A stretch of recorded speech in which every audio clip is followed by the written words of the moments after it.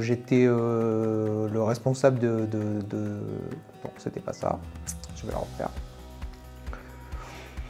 C'était quoi la question? Bonjour, je m'appelle Eric Rochier, je suis ingénieur hardware et lead technique chez LC Design. Je suis ingénieur euh, de l'ESIGELEC, promo 2004. Euh, j'ai une vingtaine d'années d'expérience et dont 12 ans chez LC Design.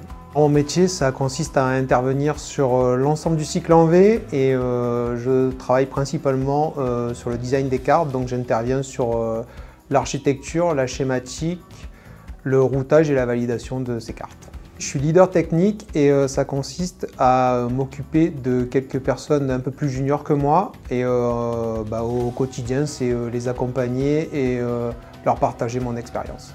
Je suis également référent métier, donc bah, ça me permet d'intervenir et d'aider mes collègues en dehors de mon équipe. Donc lorsqu'il y a des problèmes sur certains projets dans lesquels il faut amener une expertise ou mon expérience, on fait appel à moi et donc je peux aider aussi mes collègues dans toute la France. Ce qui me plaît chez LC Design, euh, c'est que c'est une société encore à taille humaine avec euh, un management assez familial. Sur le côté technique, ben, c'est une entreprise qui est souvent à la pointe. On est reconnu comme des, spécialistes, donc on a des missions en général avec des, sur des technos de, très haut vol. En 12 ans, euh, j'ai fait 6 missions, dont une mission d'assez longue durée de, de, à peu près 5 ans, donc une stabilité sur les missions. Dans toutes les missions que j'ai pu faire, c'était chaque fois dans des domaines très variés que ce soit la TVNUM, euh, le nucléaire, l'industrie, euh, le médical.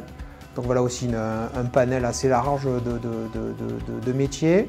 Et également, euh, donc j'ai pu intervenir sur des projets dans lesquels j'ai pu toucher au, système de A à Z en fait. Alors, je suis membre du CSE, c'est mon second mandat, donc ça fait 5 ans que je suis membre. Aujourd'hui, je suis secrétaire de, l'instance. C'était un, engagement volontaire pour essayer d'apporter ma pierre à l'édifice et essayer de faire avancer un peu la société également euh, participer à la vie du centre, donc en proposant des activités euh, socioculturelles pour mes collègues.